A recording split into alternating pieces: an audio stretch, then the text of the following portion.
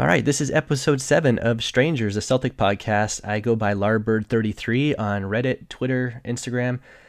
And typically with this podcast, what I do is I call up various NBA fans, usually Celtics fans, and I talk to them about the Celtics. Usually these are people that I've never actually had a conversation with, except for online. This episode's gonna be a little different. I'm gonna call up all sorts of people. We got the trade deadline right around the corner. I'm starting to record this around 7 p.m. East Coast time. I'm sure there's going to be lots of news even as I'm recording this, but I'm going to call up lots of different fans and see what people are thinking about right now with this trade deadline. If you like this content, please subscribe to my channel. All right, let's uh let's dive right into it. What's up? What's up, man? ZD Music. Yeah, ZD Music. I think you probably heard one of my podcasts at one point. I think you said you wanted to be on, right? I did, yeah. so, so I'm trying to do this quick thing where I just call up people and just they tell me like what's on your mind with this upcoming uh, deadline. You know, I I'm getting anxiety about that um, Sixers trade from yesterday. So uh, it's the Sixers got Tobias Harris right and Boban. So they got those two, and then they gave up basically like nothing. Like in terms of players, they gave up what Landry Shamet and uh, the other guy, and and they gave some picks. So I I haven't been concerned about the Sixers really, even though I know they're a good team. We seem to always have their number, like as Celtics fans. Uh, and now with this inclusion of Tobias Harris and then Boban off the bench at like seven three, I'm getting a little concerned about that matchup in the future. I don't know. I don't know if it's going to be that easy anymore because that starting lineup of Ben Simmons and Redick and Harris and uh, Embiid is tough and uh, Butler, Jimmy Butler too. Yeah, that's going to be a brutal lineup to deal with, and it's interesting following Twitter and everything. People are underselling Tobias Harris. I'm seeing a lot of people who are pushing this campaign. They're like, "Isn't he better than Marcus Morris?" And I, I, get what they're trying to say from like his his shooting percentages. They're trying to say if per 36 that Mar- Marcus Morris's stats are very similar to Tobias Harris. But right. I mean, this guy is really really good. He's averaging 21 points, 50% shooting, 43% from three. Right. He, this is, uh, I think he was of all players who were averaging over 20 points per game. He's has the lowest uh, usage rate. Of course. So and like the main thing that Philly needed was someone to uh, spread the floor for them. So yeah, man, I'm I'm with you on that. That's going to be an interesting thing um, to see how that plays out. They're still going to have to build chemistry, and it could right. could still backfire for them because those both Harris and Butler are expiring contracts, but that's true. That's um, true. I'm hoping it backfire. I, I wish really nothing but pain for the Sixers franchise because I hate them so much. So I really hope it backfires. But I, I mean, some people are saying that like that bench is going to be real thin, and that's been their problem all year. But I don't. I mean, I know it's a different team, but the Warriors bench is real thin and that doesn't really seem to be problematic for them because their starting lineup is just so insane. Yeah. And I know the Sixers starting lineup isn't as insane as that Warriors lineup, but it's still that's an impressive starting lineup that they have now. Uh, and I don't know if it matters that much in the playoffs that they have kind of a thin bench. Uh, so I don't know. It's it's a little concerning. I think I'm with you on that. It's usually yeah. it's you know it's talent. Like the most talent you have matters once it comes to the playoffs in that starting right. lineup is that's when they tighten up rotations and players start playing ridiculous minutes like we've had rondo i think average like 43 minutes in one playoff right. for us right so once right. their yeah. starting five is averaging 40 plus minutes and jimmy butler has done this in the past where he averages crazy minutes in the playoffs if they have chemistry that's going to be a tough one that's tough, yeah, no, and maybe they'll run into some chemistry issues we've had this year, but probably not. I mean, I think ours are kind of unique with Hayward and, and everything with that. So I don't know if they're going to hit chemistry issues Some, uh, or not. All right, man. Well, thanks. This is a, a, just a quick taste. Hopefully, I can get you on for like a longer yeah. podcast down the line. I appreciate you giving me your perspective on that. Of course, man. Anytime. All right. Talk to you later. All right. See All you, right, man. Bye. Yo, man. What's up? What's up? Good boy, twelve. Yeah. What's up, Larry? How you doing, man? Good, man. So you're uh, you're a Sixers fan. And I, I, am, unfortunately. Somehow you found my podcast. I think it was one of the one times I posted it on the NBA sub, and I think you actually listened to it. So thanks for that. yeah, I'm. I just uh, half my time is spent just perpetually refreshing our NBA new. So I see pretty much everything. So I saw it and I was like, I'll I'll listen to it for like two minutes just to laugh at these Celtics fans. Uh, good podcast. I liked it. All right, thanks, man. You're one of the Knights of New. It's people like you that help curate the you know NBA sub. So thanks. yeah, doing God's work. So yeah, uh, just doing quick thing here. Just what's on your mind with this trade deadline? I just talked to someone, uh, a Celtic fan. They're pretty pretty nervous about this Tobias Harris trade from a Celtic perspective. Why? because they think it's going to be uh, it's going to be trouble. What? Well, quickly, what's your take on that? How do you feel about that trade for your team? I'm just so depressed, man. Really? I, I really am. Like uh, last year, we ended the year on a 16 win uh, winning streak. We won the first round. We had this young team with tons of potential that could just grow together and really compete for like a decade. And fast forward like eight months, we've traded everyone away for two um, two guys who are about to be free agents. And I just I think the ownership just really wanted to win now, like just got in their minds that now's the time to compete. And if you look at it, most of the time you don't win a championship with your best player being younger than 28. Like like Shaq won when he was 28, Jordan, LeBron. I just don't see us winning until Joel Embiid's in his prime. Sure. So we've made all these panic moves to win now. We gave away we gave away more for Tobias Harris than you guys gave away for Kyrie. Like we gave away more for Tobias Harris than you guys uh, than uh, than uh, what the uh, OKC gave up for uh, Paul, Paul George. What was, so what was the main ask you guys gave up? Was that Miami pick, right? it's a Miami pick. It was our best late round pick um, since Lou Williams in uh, Landry Shamet. And then we gave up our pick, two solid seconds. Um, I just it's just a lot to give up for a guy who's about to be an expiring contract, and I just don't know who we bid who we bidding against. I just think we have an inexperienced front office. Um, Elton Brand only experience was running a G League team for a couple months, and Jerry West saw that, knew he was dealing with an inexperienced front office, and kind of took advantage. Like I really think if we just waited to the deadline and said, "Listen, we'll give you two of our picks."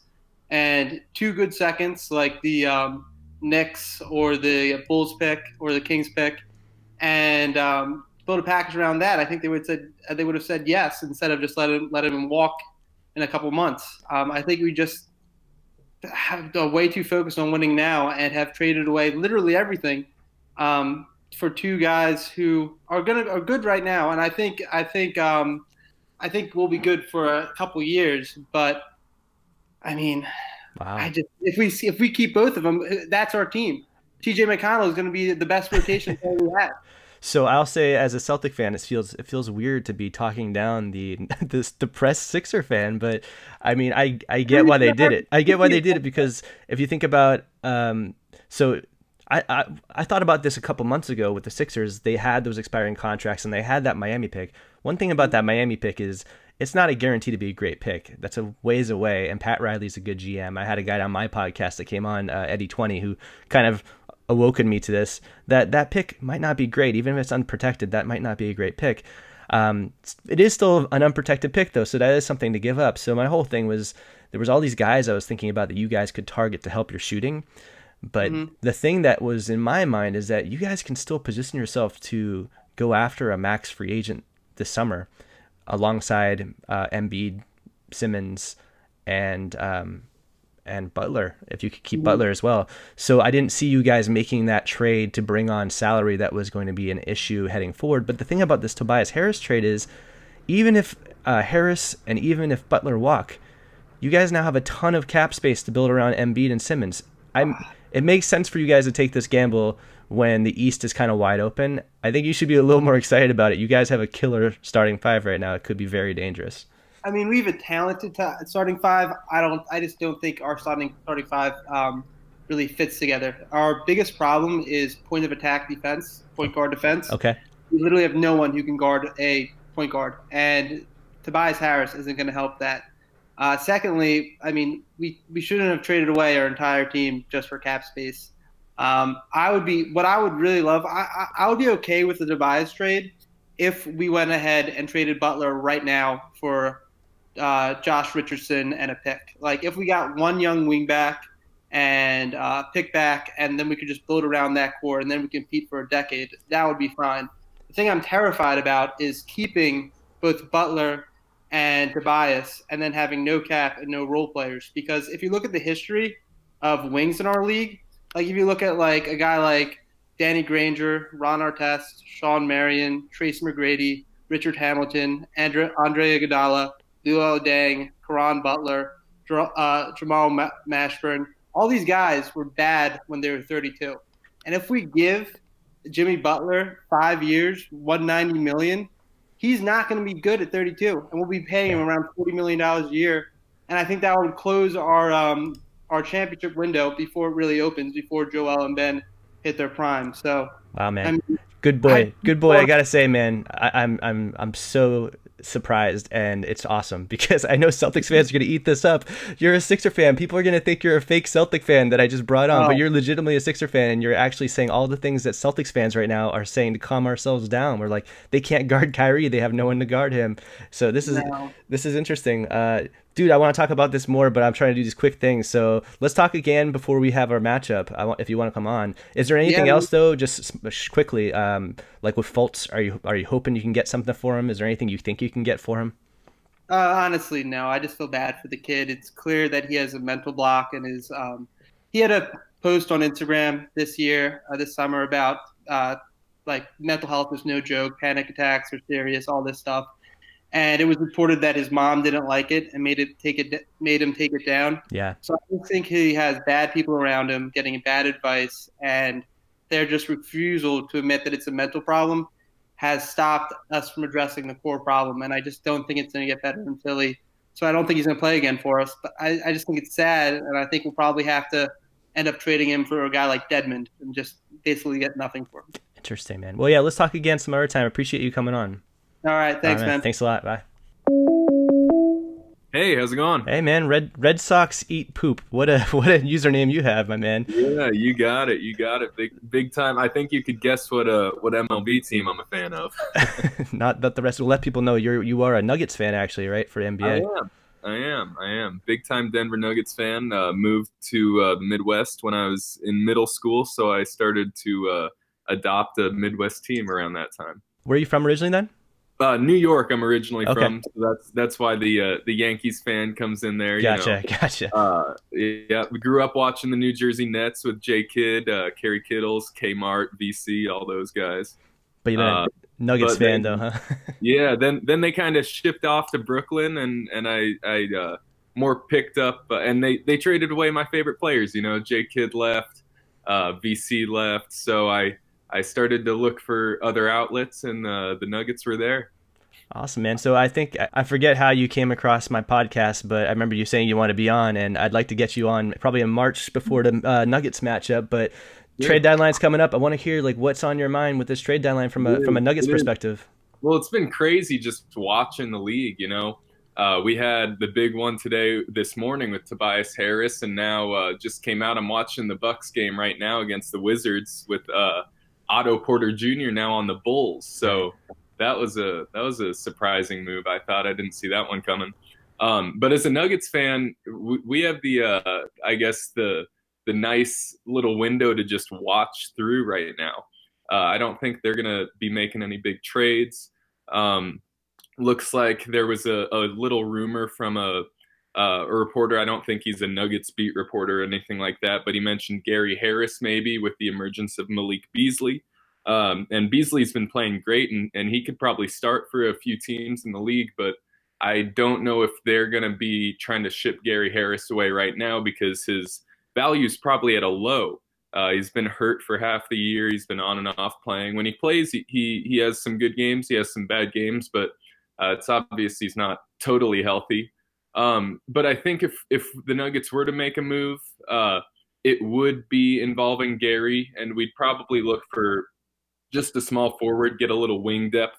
Uh, that's what the Nuggets really struggle with when when they're in these games. I know they're playing the Nets right now, um, and and they don't really have to match up too too tough. They don't have too tough of a matchup on the small forward position. But when you get guys like the Raptors or uh, anybody that has a Kawhi Leonard type player or uh, even a Giannis, uh, the Nuggets do struggle to match up. They have Paul Millsap that kind of helps anchor their defense, but he he's not as shifty as uh, like the the Kawhis or the Giannis's, and uh, I, I, think that's where the Nuggets would probably look for some help. Um, I was talking to a couple guys online, and they brought up maybe uh, looking at the Raptors, and if we were to uh, trade with them, it'd be like a Gary Harris for uh, OG Anunoby, um, plus a couple other throw-ins like a Delon Wright. Um, but I don't, I don't know. I don't know. I as a Nuggets fan, obviously I have a, a little bias, and I love Gary Harris. He's Yep. the man. Um, having a little bit of a down season, it looks like. So last couple of is, he seasons was shooting lights out, shooting for like forty percent, and now he's shooting for, from three and shooting like thirty one percent this season. So. Yeah, yeah. So you guys are and I turning on him. That I didn't realize that. See, this tells you how uh, you know perspective of fans who aren't in that community. Like I didn't even realize that Nuggets fans were out on Harris at this point. No, and and I, I don't think we are. I think that was just something that was brought up. I don't think that's a serious uh, a serious piece there. I wouldn't want to trade if if I had it my way. We wouldn't touch anything on our roster right now. Uh, I love Gary Harris when he's healthy. The only reason I think he's kind of having a down year uh, is just because he's been on and off hurt. Um, just been having issues, and and when he can stay healthy and consistent, you know, he's a, a big time threat a great three and D or a three and D player, but uh, again, he is a, a shooting guard and and he's a little undersized as a shooting guard. Um, and and he kind of I wouldn't say he has a similar style to Jamal Murray uh, or Malik Beasley, but he does fit that kind of undersized uh, uh, guard that the Nuggets have. But that works with Jokic running the the helm. So quickly, give me an update on. Uh, well, first of all, what's going on with Isaiah, our boy Isaiah Thomas? Isaiah, Isaiah, you know it, that that's a that's a bit of mixed feelings too. I'd love if he could come back and and really contribute. Um, but you know we haven't heard much about him on on the injury side of things. Uh, in the beginning of the year, it was said that he was looking at a December, maybe January return. Uh, now, come February, uh, we we've heard a couple peeps out of him, but but nothing big. Um, but it does seem like he he's had a, a positive influence on our locker room. Uh, Monte Morris is a guy who's stepped up, uh, running that true point guard position, kind of kind of different than what we're used to seeing with Jamal Murray, who came into the league more as a shooting guard. Uh, and and although Jamal's really evolved this year and, and can take over as a point guard, we haven't really seen that that true point guard position until Monte Morris. And I think Isaiah might might be uh, helping in that that role to kind of mold Monte into the player that he's becoming. Awesome. Um, We're rooting but- for him. yeah, yeah, I think we all are. I think we all are. Uh, if we could give him, you know, 15 minutes a game, uh, and it wouldn't eat into our our young guys, that's the only problem at this point. I think that the Nuggets will struggle with with Isaiah. Uh, what Isaiah are we going to see? You know, um, if if we're going to see Celtics Isaiah, you're going to want to play him 20 minutes a night at least. Uh, if we're seeing Cavs Isaiah, you know, that's that's a little tougher. Right, right.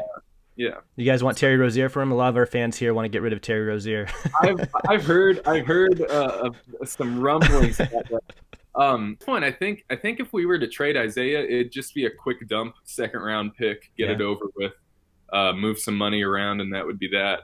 Because I, I I think Nuggets fans right now we we just love our roster. right. Uh, we we have we have really good guard depth, but again, that that position that we're a little weak in is the wing. Because even Barton, he's six foot five, six foot six, uh, and he he doesn't have too much meat on his bones. You know, he moves more like a guard than he does a, a forward. Um, so so it, it'll it'll be interesting to see what happens. I, I do think the Nuggets are going to lay off this this uh, Deadline. trade deadline, but Yeah. I could also be totally wrong. Okay, last thing. Uh, Michael Porter Jr. What are your expectations Oh, yeah. of him? Because that's one guy I'm really curious about. we, we already know he's going to be better better than Michael Jordan, LeBron James. All right, man, let's leave it out that. I'll, I'll talk to you Yeah. again before we we- we meet up. All right. Uh, then Hey, Celtics sounds play like Nuggets. All right. Thanks, talk, man. talk Thanks to you later. me. Yeah. Bye. Hello. Alex, what's up, man?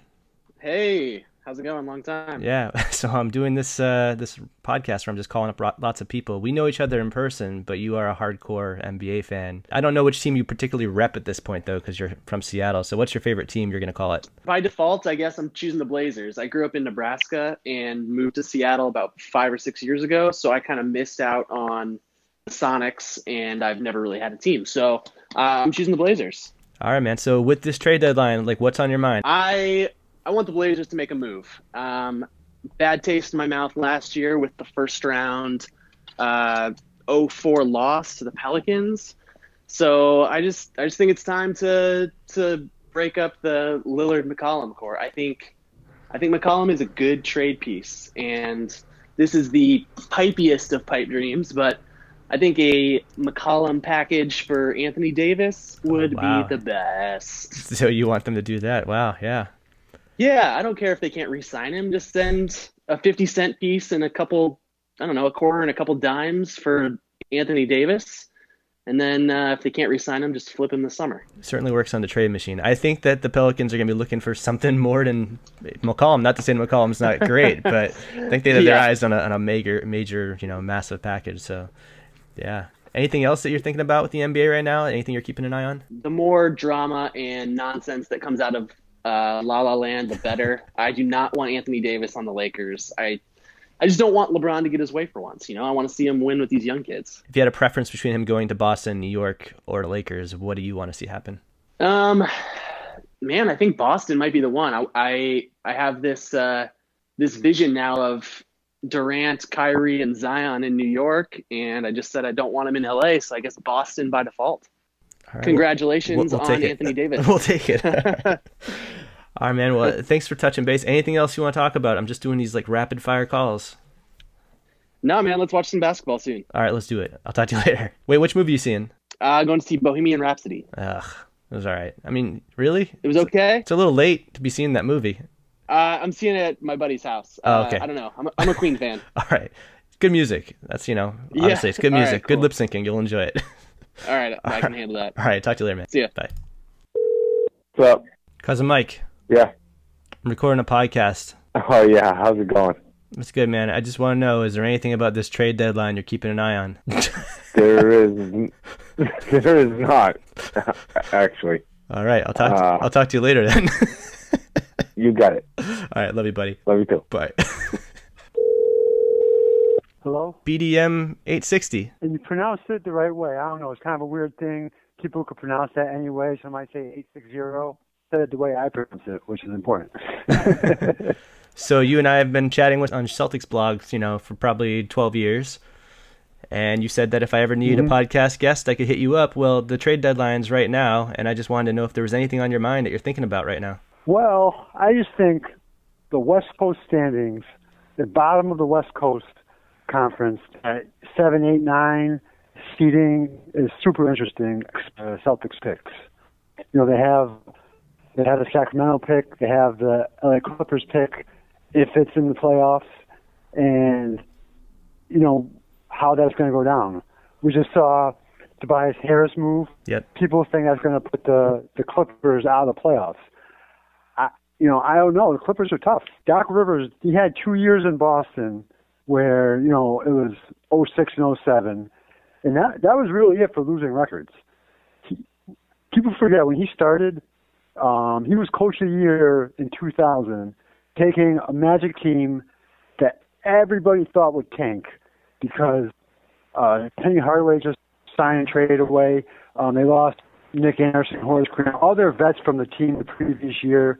They left. Darrell Armstrong was their best player. Took them to a 500 record. Everyone thought they would tank. I mean, that's similar to what I see the Clippers with now, where you know back then they had Darrell Armstrong. Doc had Darrell Armstrong. Now he has he still has Lou Williams, Patrick Beverley. I has some tough players that I think he can get 500 ball out of them. I agree with you. That's uh, it's going to be interesting because them getting rid of Tobias Harris is probably going to push them out of the playoffs, and it's probably going to push the Kings into the playoffs, which kind of screws us on both ends because our Clippers pick is top 14 protected this year, it's top 14 protected next year, and that Kings pick obviously we want it to be in the lottery. So yeah, that trade didn't work out for us on any any end. It hurts our draft picks, our competition with Philly. It's going to be a tough one. Anything else that's on your mind with this trade deadline? you know, the, the Kings. I, I I wrote a post back in September about them. No one saw it because you know you know how it is. You posting something and no one else posting the thread and it disappears. Yep. But the Kings, I mean, I'm I'm shocked how good they're doing. I, I wrote a post saying there's nothing to worry about. Like ESPN, if you look at all the preseason rankings, ESPN ranked them 29 and three different polls they did in the summer. NBA.com ranked them 29. Yeah. CBS.com ranked them 29 this summer. Yep. They had no players in anyone's top 100 ranking. Then, except one poll, CBS.com had Marvin Bagley at number 91, and that that was it for any Kings players getting mentioned. and then I went on this long spiel about, don't worry, this is what happened. I'm going to read some things that have happened, and relation to the last time they made the playoffs. The Seattle Supersonics exi- existed more recently than the Kings made the playoffs. The Oklahoma, That's crazy. or the Oklahoma City Hornets existed more recently than the Kings have made the playoffs. Right. You've probably been to Blockbuster Video more recently than the Kings have made the playoffs. MySpace was the most visited website in the world more recently than the Kings have made the playoffs. The first iPhone was launched more recently than the Kings have made the playoffs. Shows like ER and Sopranos have released episodes, new episodes more recently than the Kings have made the playoffs.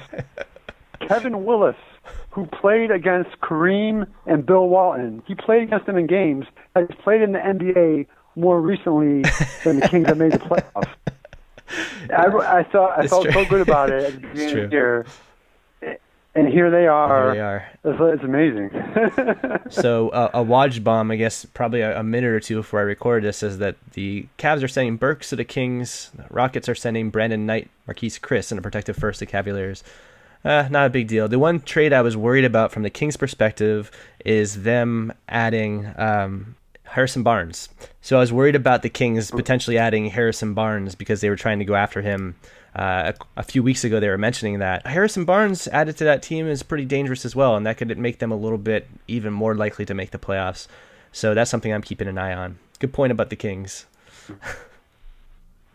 All year, it's been like the tough stretch of the schedule is coming up for them, and here they are. What are they? Three games above 500 with Yep. you know less than 30 to go. That's that's pretty impressive.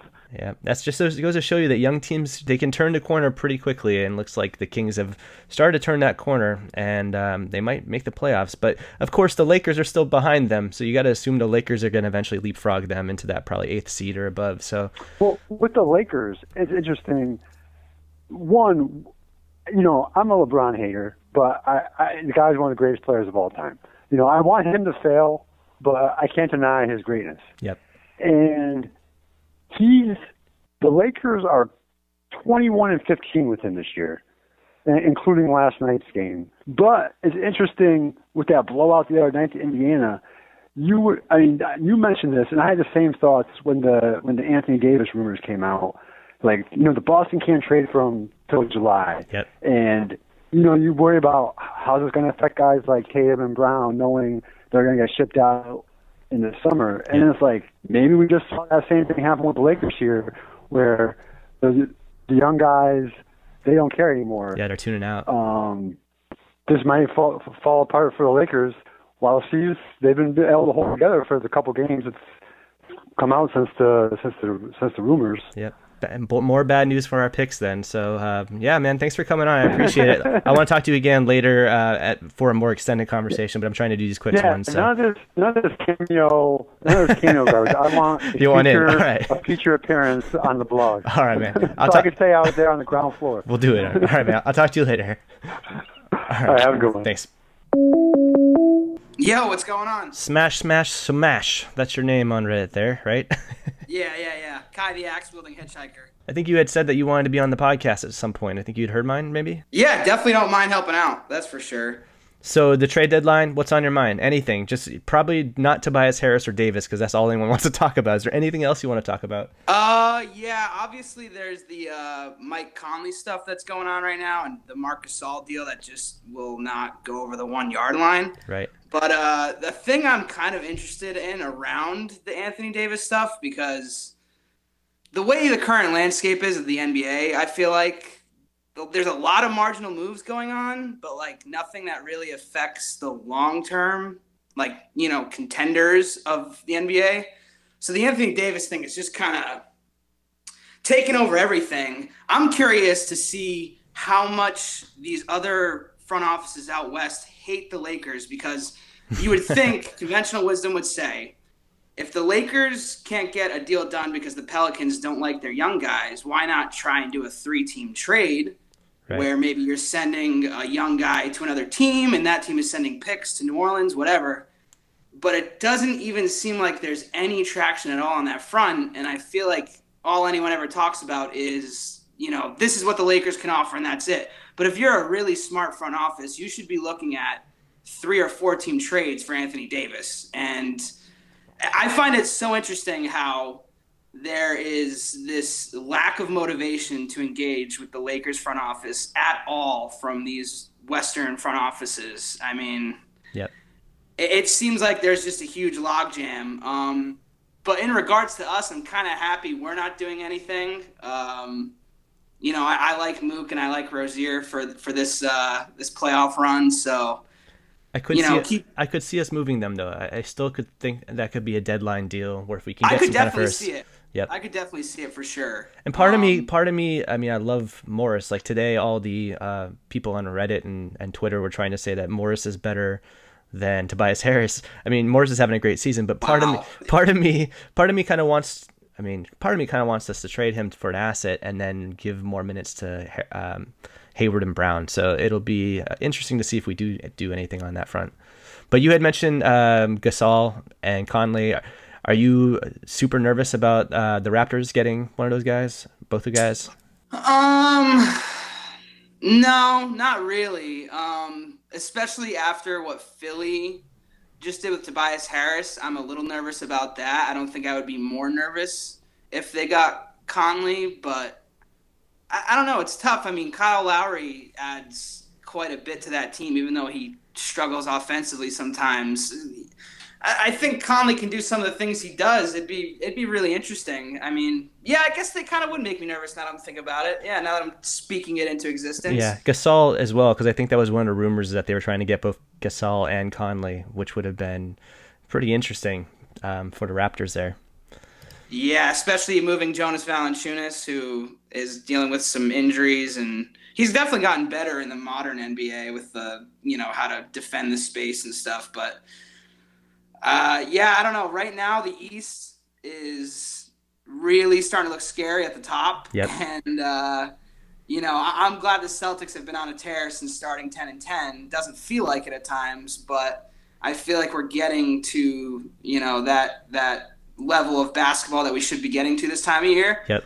But yeah, like I said, the, the top of the East. I mean, if Conley or Gasol or you know one of these guys comes to one of those top teams, it, it makes things even more murky. You know, because these guys are just getting added into the team, so you Right. have this Right. adjustment period, and how you know is Tobias Harris going to come in and light a fire under all their their asses, or is it? I don't know if I can swear, but That's, um, no, fuck it, whatever. It doesn't matter. Just me. nice. Ten All people are gonna listen to this. By the time people get to it, the trade deadline will probably have passed, so it's no big deal. Yeah, yeah, true. But uh, Um, one thing I was talking on the Celtics Reddit podcast, uh, they had were kind enough to invite me on last night, and after the call ended, I was talking to Jackson, and he had mentioned, which I, I hadn't even thought of this. He's like, "What if the Raptors aren't really feeling comfortable heading forward and just letting Kawhi walk? Is there a really kind of wild card chance that they might just say, screw it?" and trade Kawhi right now, even though they are in the thick of things. It seems crazy, but I wonder if they if they're getting signs that maybe Kawhi is going into Clippers with them filling out, you know, freeing up cap space, then maybe they're gonna do something, and that'll be interesting. I mean, if they, it seems super super unlikely, but that's something that I guess on the fringes to keep an eye on.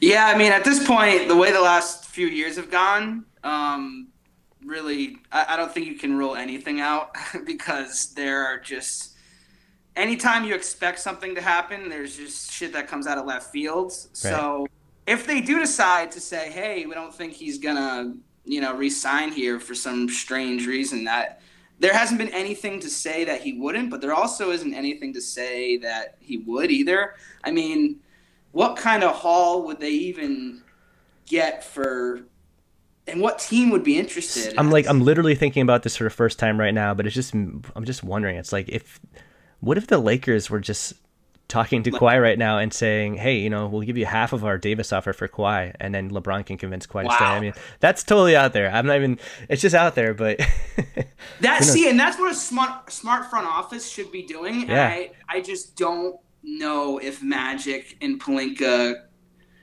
are that I just, they're just hell bent on getting Davis. Yeah, and I, like I said, I, I it doesn't seem like there's even any any kind of attempts. Obviously, there must be, but like there's not any kind of attempt to try and pull some wacky ass strings so far with less than 20 hours left Yep. to say, hey, you know, maybe we got to do more than just what we have. I mean, we got to really pull some crazy stuff here and, and really start digging into the CBA. But Yep.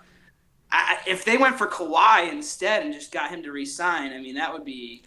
It'd be crazy. Nobody would see that coming. Just for this podcast, if I can get this out on time, I'd be the only person that mentioned it. But I'm just thinking, like, when they originally got Kawhi, part of it was like people were thinking, well, yeah, why don't you just like get him and you could potentially just trade him and Yeah. get free up DeRozan. Anyways, I don't know if they even really wanted to keep DeRozan long term. So it's like, why not just get Kawhi and maybe you can rebuild around some crazy package that you're going to get from the Celtics or something at the trade deadline. It's something that is super unlikely to happen, but it's an interesting point, and I got to credit Jackson for bringing it up um, on that podcast after we recorded it. So, yeah, man. Anything yeah, it's else? something that gets talked about a lot. I feel like with these superstar trades, but never actually happens. So Yeah. if it did, like you know, trade for the guy and then trade him at the next segment, whatever that deadline or summertime is, that would be. I think if you're the Lakers, that would be a great move after all this Davis bullshit that's been going on. Right. Or if I'm the Lakers, I'm just floating that out right now as a bullshit possibility. I'm getting Rich Paul to say that uh, the Lakers are considering doing this, and then maybe it puts some pressure on the Pelicans to say, wait, wait, wait. True. yeah, you gotta. I mean, this this is a whole new landscape to the NBA now with Yeah. with players and agents. Now you have a legit player like with a rogue agency. I mean, these are things that all these front offices have to start thinking about now. Yeah well, Amos, thanks. Uh, I'd like to talk to you again at a more extended conversation, but I've just I'm just doing these quick bursts. So uh, Yeah, thanks no for coming problem, on. dude. All right. Yeah, no problem. Good luck. Yeah, talk to you later. All right, Kitty. This is my wife. Kitty, say hello. Hello. Kitty, what's what's on your mind with this trade deadline? Who who's trading what? You got any you got any big trades in mind? the players? Great. Thanks, Kitty. uh, Kitty and I just did a video together. I just wanted to bring her on because we put together this Gordon Hayward 100% hotter video, and it's it's fire, man. This is a fire video. We got 400 views right now, Kitty. People are people are liking it. So thanks for your work on that. I had more in my cat video though.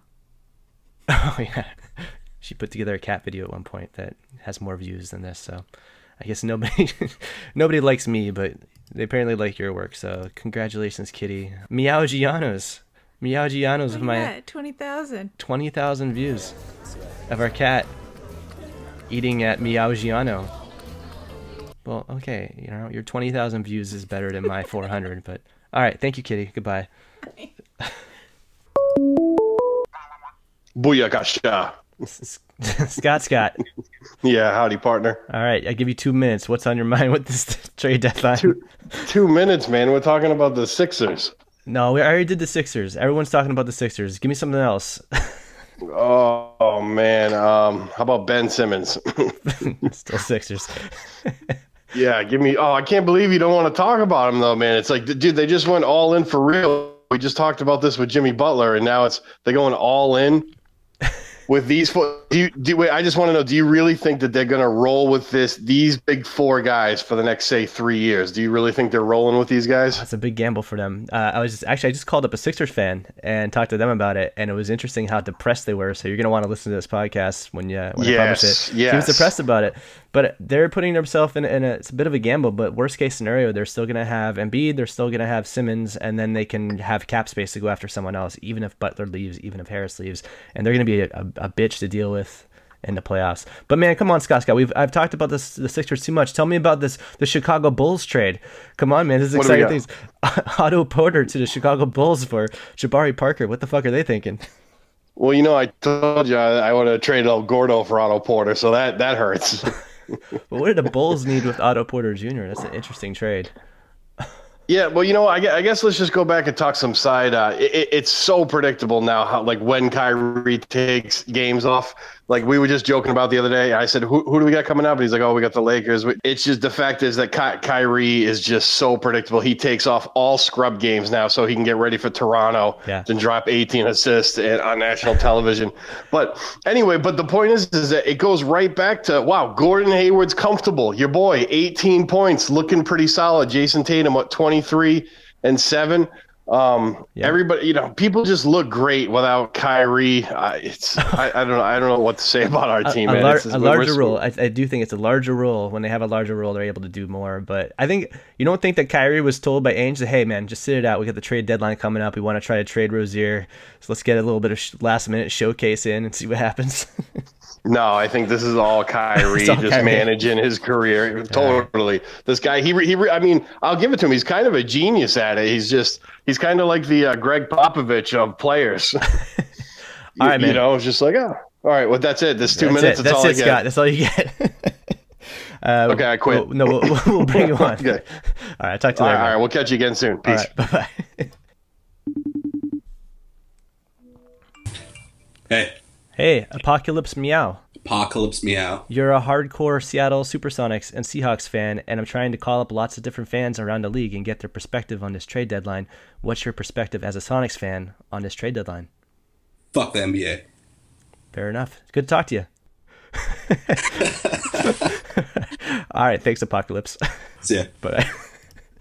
Can you hear me? John, what's up, man? You know, you know, hanging out. It's the middle of the week, trying not to die in the snowstorm. So you're another, uh, I guess, a former Sonic fan. I have a, a lot of friends who are former Sonics fans, and so who do you identify now as your favorite team? I mean, my favorite team's got to be Golden State. Oh God, really? Golden State? come on, they've they've moneyballed basketball. If you, if you don't if you don't like that, then you- you're missing out on the whole statistics, the cool, f- fun math behind sports. It is incredibly impressive how they've been able to put together a, an unprecedented team. But all right, man, I'll give you a pass because Sonics fans have been scorned. But really, just come on, come to the Celtics, man. We've got we got space on the bandwagon. Come to us. I, I love the Celtics, man. I, I, I love Kyrie. I love Al, Al Horford. I think Tatum's a little bit overhyped. Oh, Rozier's pretty good. Smart's been killing it. I've been a big Morris fan for a long time. yep. Uh, you know, Theis has been surprisingly decent too. Yeah. Um, honestly, like I, I, I love the Celtics this year. They're one of my favorite teams in the East. Um, Fair enough, uh, man. Fair enough. if, So, if, if, I'd, I'd like to call out though. There is one team I do hate. I do hate OKC. Like, Oh, like yeah, no of course, like, of I, course. I, I wish they they lose every single year, and I'm so happy that they're cursed with Russell uh, uh with Russ right now because although he's talented, although he's really good, I just I feel bad for Paul George. that is a funny thing about former Sonics fans is that the only two fan bases that were happy about Kevin Durant leaving OKC for Golden State were you know Golden State fans and Sonics fans because they're like fuck OKC anything to ruin Yeah. their chances. But anyways, the uh, trade deadline trade de- deadline just right around the corner. Just is there anything that's popping up that's your it's on your mind right now that you've been curious about or has caught your attention? Yeah, you know, I I did want to. I I really liked the Thon Maker move going over to Detroit for Stanley Johnson. Um, I'm not quite sure what Milwaukee was trying to do there. I mean, what what do you think they were trying to trying to get out of that? It's hard to say. I mean, Thon Maker had demanded a trade. it was funny. He demanded a trade from a weird position of a guy who's averaging five points, but he's super. You know, he's super young. Um, Yeah. he could end up pre- being pretty good. I mean, I think I think the guy's pretty good. I mean, I, I think Thon Maker's got talent. He just doesn't get a lot of play time. Obviously, you have Giannis in there, and you have. Uh, I mean, they they've already got a stacked front court. Uh, Right. and JD's playing really well for that team too. But then if he, he's going to go over to Detroit, where you know I hate to say, but I feel like Griffin is hurt a lot, and I, I feel like uh, Drummond has spent a little bit of time off the court too. So I don't know. I think he'll be a really good backup option for them. And, and honestly, Griffin's a great shooter, but I think Thon is potentially just as good of a shooter. Uh, it'd be it'd be interesting if they tried to play all three of them at the same time. Yep. Uh, which would be like an enormous front court, right? Like just all 6'11", 6'10 plus guys. Um, but obviously, Thon Maker's got to put on some weight. Yeah, it'll be Yeah, interesting to see if he gets a larger role there. I mean, th- both Yeah. those guys are still pretty young. Uh, Stanley Johnson's only 22. Thon Yeah. Maker's only 21. So that'll be interesting to see. Thon Maker was only averaging 11, uh, 11 minutes on the Bucks, so Yeah. he could have maybe a, a leap if he gets more minutes on another team. Yeah. Something to keep in mind. Is there anything that you're waiting to see with this trade deadline coming up? Something that you're hoping to see happen? I'd be kind of interested to see what happens with Memphis if they actually move Gasol and um, uh, Conley. But honestly, I think Gasol's a little old. I don't know if that's fair. I think he's like what thirty two or thirty three. I think like 34 actually. Yeah, so yeah, uh, he's just a little old, and he's got that old man game. Like I feel like the only place he's gonna land and really thrive is gonna be a system strong team like the Spurs or maybe even Toronto. And I know there's been discussions with trading him to Toronto, but like I don't think that's a good deal for Toronto. Right? Conley's good, but I, I think they discussed JV and Lowry. Yep.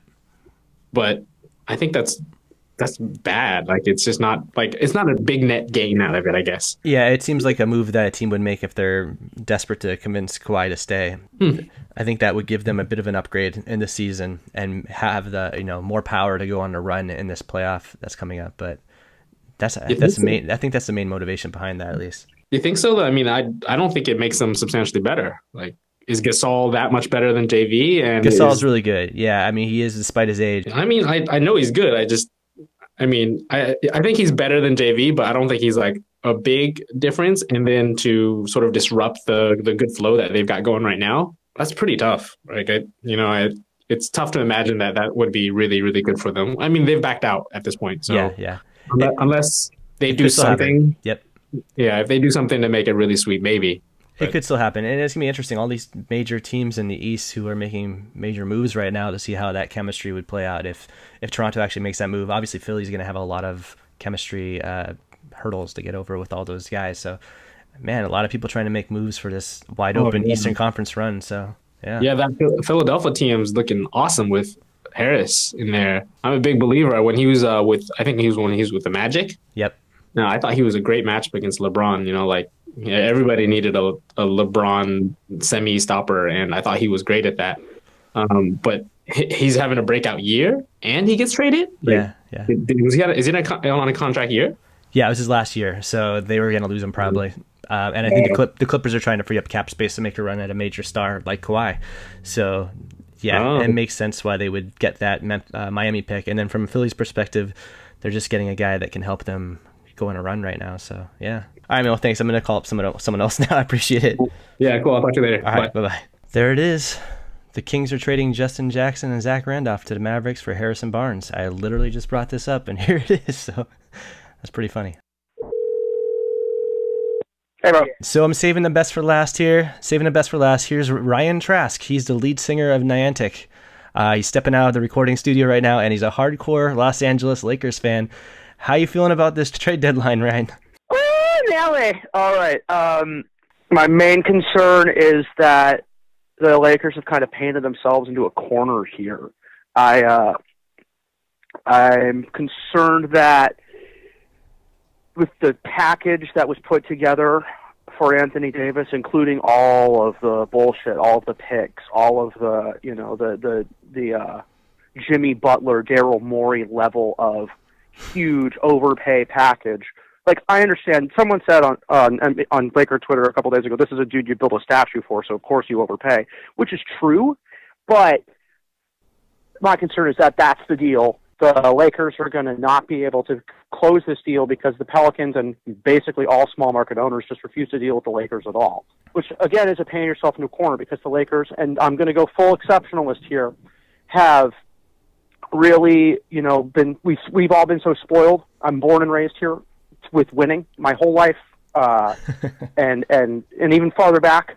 So now no one wants to do deals with us. Meanwhile, the Lakers and a couple other teams subsidize every small market. So that's not going to be an issue down the road. I hope. Um, but so that's two ways they've kind of painted themselves into a corner here. And all the Pelicans have to do is say, no, screw you. We're not going to do what Rich Paul and, and Anthony want. And we're just going to wait until Danny Ainge, who is just the smarmiest. oh, uh, I- yeah, just I, he's just going to pick up the phone and probably find a way to get Anthony Davis without giving up Jayson Tatum. Uh, that's gonna be really difficult to do. Danny Ainge is a great GM, but that's gonna be hard to do.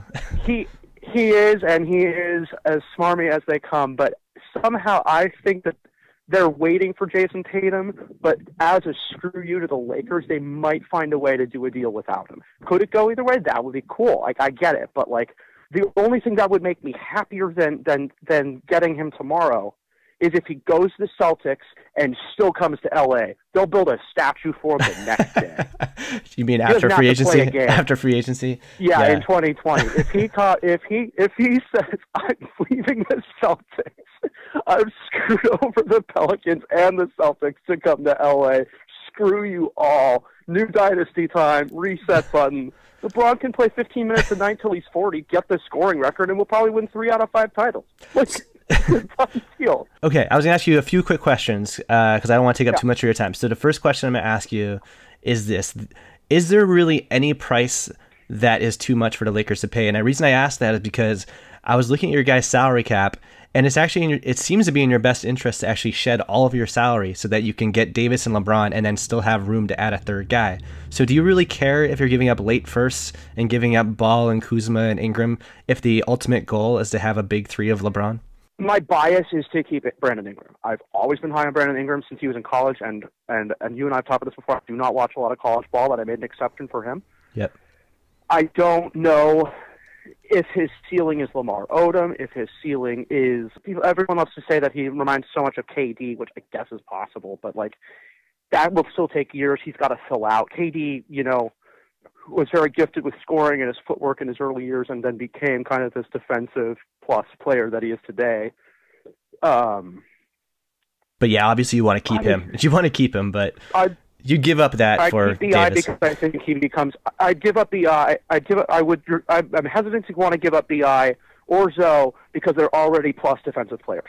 Right. If we have to give up the two of them and Kuzma to get Anthony Davis, I think it's worth it because there's still a decent chance that in the in the off season we could pry either Klay, which is just wishful thinking, I think, but, or or more likely Khris Middleton. Yep. The other thing that drives me crazy is why no one's conceived of a third deal, the, a third team to get in on this deal. They're not going to be able to get Bradley Beal, but that would be sick. Yeah. Bradley Beal on the Pelicans would actually be really great. Like they could even trade for John Wall and then have John Wall and and uh, next year obviously and and uh, Jrue Holiday. That Yeah. would be a defensive monster of a backcourt. The Yeah. Godfather offer isn't the offer that you can necessarily make yourself. You get a third team involved, all of a sudden there's another key piece that's coming in. Maybe someone injured like Porzingis or or John Wall. Yep. But I mean, that ship sailed. But like that would have been the way to go. And again, no one wants to take Majinka's fucking phone calls. Well, we don't want to deal with you because all of our players want to play for you anyway. Well, S- second question I have for you. That all makes sense. Um, looking at the package that you guys have and imagining a package that the Celtics could come up with that does not include Jayson Tatum, do you think they're capable of doing that? So just to keep in mind, seconds Oh, before I called you, second seconds before I called you, uh, the Sacramento Kings made a trade for Harrison Barnes. So that pick's kind of fucked. It's gonna that probably was, be I saw that was rumored popping up earlier Just today. happened. Just that. happened. That's a great trade for Sacramento. That's great. I love Harrison. I love the Kings. Yeah. So a lot of people listening to this, most of the people listening to this are Celtics fans. So it's curious to get your perspective. Is there any package built around Jaylen Brown and all of our picks, and maybe even Gordon Hayward that you think can trump you guys? if they're not going to take if they're not going to take you know the money for you know productive young guys or KCP, they're not going to take the money that that that the Celtics have sunk into Gordon Hayward. Well, I really have always loved his game. Yeah, Always loved Hayward's game. There's what still two and a half years left on that deal, sure. And he's played and he's played you know maybe replacement level. I want to make sure I say this nice and clearly. My my Twitter is yes Trask. So that with the Celtics fan, when the Celtics fans at me for saying what I'm about to say, um, like I said, I'm very high on Brandon Ingram. I'm not stoned out of my mind high on Brandon Ingram, but I did go on uh, Basketball Reference and do uh, year-to-date comparison on him versus Jayson Tatum. And Jayson Tatum is, I think, like 2.9 win shares, and Brandon's like 0.9. I, I'm pretty sure I'm wrong about those. Um, That was kind of my next question: I- is I- how did you see Jayson Tatum stacking up with all your assets? Because some people believe that he is a blue chipper and beats all of your guys. those are win shares 48. That's the bottom row, the advanced stats down there. That's like win shares 48. That's an important stat for sure. But in terms of the not just the counting stats, because I I just can't wait for the first app to come in where it's some Celtics fan saying, "Oh well, Ryan just used a counting stat. Stupid Lakers fan strikes again." But like. Not just in terms of the counting stats, but just in terms of like the, the the general like overall like some of the mid range advanced stats, they're comparable. Like Jayson obviously is a, currently a better player than Brandon, and and I think that he's got a, a even higher potential as a defender possibly than Brandon does. Mhm. But they're not that dissimilar. yes, Jayson is you know much closer to being an all star, but like Yeah. We're talking about guys who both average 25 and 5 a night. Uh, Brandon hurts the team, you know, big picture more on defense probably, but I mean, they both have great basketball IQ. Brandon's might be better at his pedigree being from Kinston. I've always, you know, uh, that's where Jerry Stackhouse is from. Uh, Uh, Yeah. What's his name? Reggie Bullock went to high school there. Like that's a great pedigree. Like so, his basketball IQ is top notch. Jayson's game is great too. Like I'm not, I'm not gonna, I'm not gonna seriously knock Jayson Tatum. But yeah, man, that uh, that'll be interesting to see how that that all plays out. Um, I appreciate you coming on. Anything else major? I mean, I don't want to take up too much of your time. Anything else major you want to talk about before we go? Yeah, go Dodgers. Go Rams. Go Chargers. All right, man. Thank you, Ryan Trask. Appreciate it. Yes, Trask on anytime, Twitter if you guys anytime. want. All right, thanks a lot. See ya. sure. Yeah. Yeah. Yeah. Thanks. Thank you so much. All right, that was Ryan Trask. He's a Laker fan. I think that was pretty fun. I got to talk to a lot of people. Um, again, I go by LarBrd33 on uh, Twitter and Reddit, and you can subscribe to this YouTube channel. I'm putting up a lot of different videos, having fun with it. Some are kind of stupid little uh, meme type videos. Some of them are podcasts. But uh, yeah, subscribe to my channel, uh, like these videos, and share them out. And it's gonna be interesting to see how obsolete this podcast gets as soon as I post it. There's gonna probably be a lot of more, uh, a lot more news that I'm gonna miss out on, but we'll see where this goes. Thanks.